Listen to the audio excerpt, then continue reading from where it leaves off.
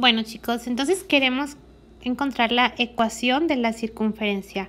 Vamos a pensar un poquito en lo que ya sabemos. Este, elementos son un centro y un radio. Y la circunferencia es el conjunto de puntos que están a distancia R del centro. Muy bien, otro recordatorio es la fórmula para la distancia entre dos puntos. Esta la voy a utilizar para calcular la distancia entre mi centro y cualquier punto en mi circunferencia, ¿ok? Muy bien, vamos a hacerlo.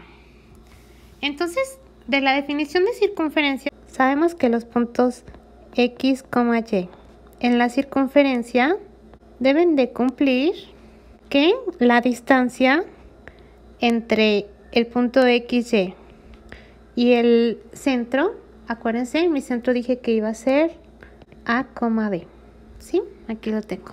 Y el centro A, B tiene que ser R. ¿Sí? Muy bien. Ahora, vamos a calcular quién es esto. Entonces, yo sé que la distancia entre X, perdón, entre dos puntos está dada por esta ecuación, la del recordatorio. Muy bien. Entonces, esta distancia es igual a la diferencia en la primera coordenada, o sea, X menos A, X menos A al cuadrado más y luego ahora la diferencia de las segundas coordenadas. Entonces tengo y menos b, y menos b. Y esto va al cuadrado. Muy bien. Y esto tiene que ser igual a r. Ahora, me quiero deshacer de este símbolo de raíz cuadrada. ¿Cómo lo hago? Elevando ambas, ambos lados de la ecuación al cuadrado. Entonces me va a quedar que x menos a al cuadrado más y menos b al cuadrado es igual a r cuadrada.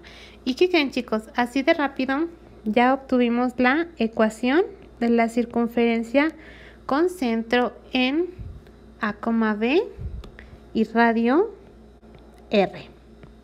¡Qué felicidad! Bueno, ahora vamos a hacer un ejemplo. Calcular la ecuación de la siguiente circunferencia. Aquí está la circunferencia. Para resolver este ejercicio, lo primero que voy a hacer es fijarme en quién es su centro. Entonces aquí está menos 2, 3. Las coordenadas del centro son menos 2, 3. Muy bien. La siguiente cosa que necesito es su radio. Entonces su radio mide 1, 2, 3 radio es igual a 3. Con estos datos ya puedo sustituir en la fórmula, ¿sí? Ahora solo tengo que sustituir los valores en la ecuación, ¿sí? Entonces es x menos a, a es la coordenada x del centro, o sea, menos 2.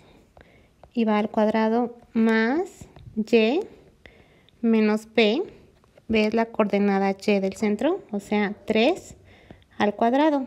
Y esto es igual a r cuadrada, mi radio es 3. Entonces va al cuadrado. Ay, al cuadrado. Muy bien. Entonces vamos a simplificar. X menos con menos me da más. Y luego este se queda igual. Y 3 al cuadrado es 9. Y listo, chicos. Ay, aquí me falta el cuadrado. Ahora sí. Listo. Nos vemos, chicos.